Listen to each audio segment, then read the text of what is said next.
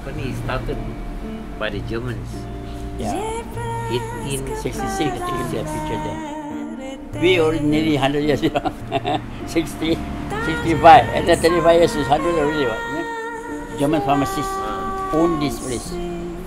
They got three. One is medical office, one is called medical hall, and one is in Johor.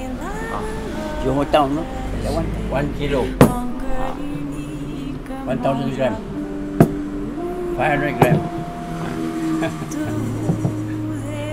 the young said they never come. They don't believe on this. They believe on automatic. So, no, where got doctor use this? All original from factory. They come, pound and just go, just pour and count. That's all. 85 years old still can learn. like Yew, ah.